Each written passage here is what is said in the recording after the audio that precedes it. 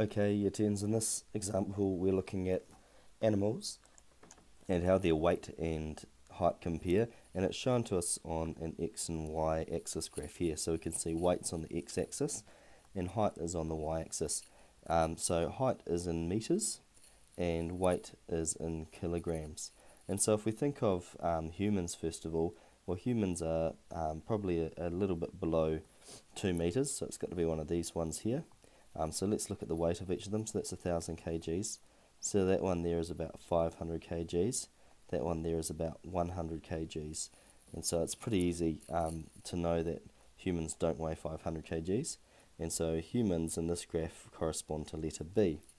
Okay, so what's C going to be then? Well, C is something that's similar height to humans, um, but much heavier. So a cow is slightly shorter than us because they stand on four feet, but that would be roughly 500 kg and so cows are the letter um, demonstrated by C.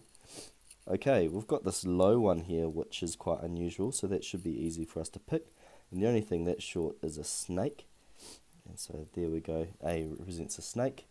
Um, and then something very tall, well the tallest of all these animals, that's the giraffe. So D represents giraffe. And then E is the heaviest of all, and so that would have to be an elephant.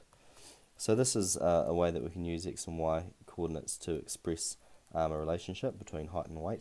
Um, and yeah, it should be pretty straightforward for you guys um, to, to make that relation.